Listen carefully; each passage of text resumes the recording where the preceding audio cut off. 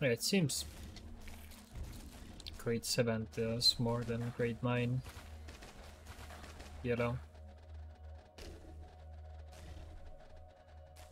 I mean, yeah, 2400 and this is 1000 times 5.